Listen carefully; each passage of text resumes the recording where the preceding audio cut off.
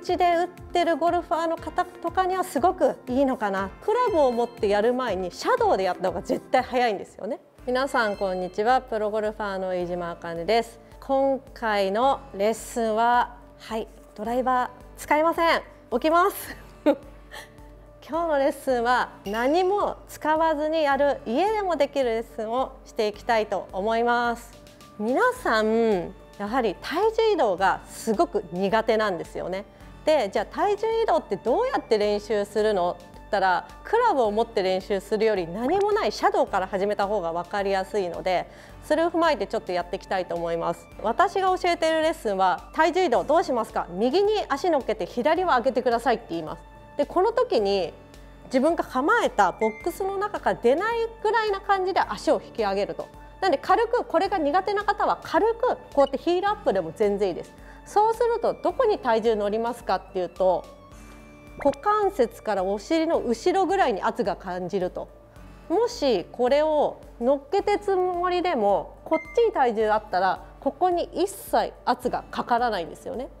そうすると一生懸命体重移動してるつもりだけど踏み込みがなくなるんですよね。ゴルフって自分のボール動いてません。自分でタイミングを取るしかない。ってことは自分でタイミングが常に合わせられればすごくいい球が打ちやすいと。ここの踏み込むタイミングが皆さん大事。それプラス足が上がらないとタイミングが取れないと。なのでここのタイミング。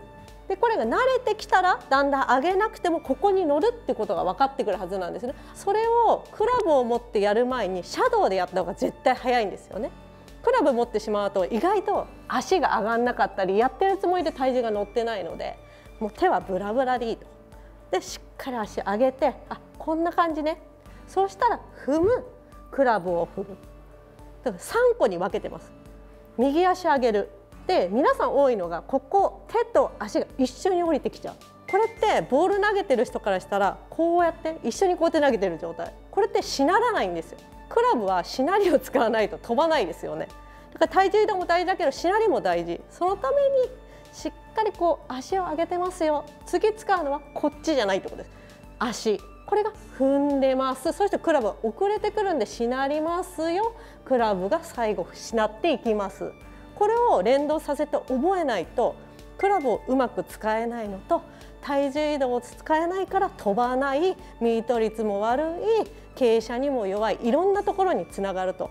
なのでこの練習をしてください。1しっかり乗る。股関節をお尻に溜めます。次こっちから行かない。足から踏む。でしならせましょう。こういう素振りをたくさんする。だんだんヒールアップでもいいです。悪い例は上げてるけど一緒にこう。これダメ。これがスムーズにできてくるとクラブを持った時に簡単ですよね。こうやって振ればいいじゃんっていうシャドースイングのようにクラブが使えるようになります。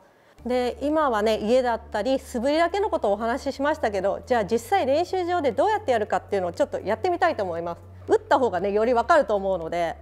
でさっき言ってた普通に構えます。でしっかりこう上げちゃいます。2これって当たりを気にしちゃいけません。もちろん実際こんだけ止めて落として打つってことはしないですよね。これがスムーズになっていくものなのでゆっくりでいいです。構えてしっかり右のお尻乗っける。それでこれができない方はもう支えとくぐらいです。左軽く。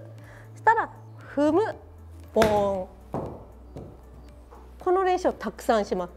1 2 3 1 2 3この手がシャフトだと思っていただけると分かるんですけどシャフトは最後にしならせます皆さん左足と手が一緒にしなるクラブを持つとそうなっちゃうんですこうやってこれをやめたいために今のドリルをしているので練習場でやるんであれば今みたいにちゃんと意識を持って練習しないとやはりうまくならないと思うので手打ちで打ってるゴルファーの方とかにはすごくいいのかなと思うので是非試してもらえたらなと思います。